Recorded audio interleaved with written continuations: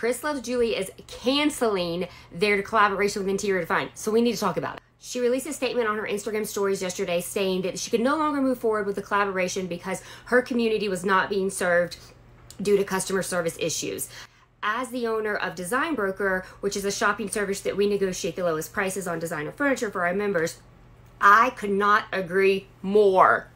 And it's heartbreaking to say this because you guys have seen several of my TikTok videos where I do counts consultations, you know, that series.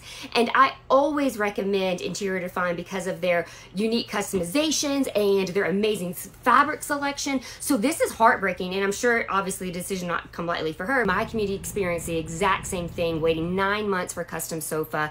And I went to my rep and I voiced my concern saying, I'm not going to recommend specifically for a neutral sofa someone to wait this long. There's too many other options out there. So hopefully this is a big awakening to the corporate, then they can fix the manufacturing issues um, as quickly as possible so we can get this brand back to what it was.